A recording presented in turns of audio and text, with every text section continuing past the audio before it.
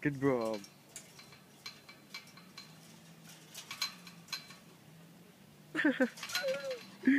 Skipper, no prison can hold you.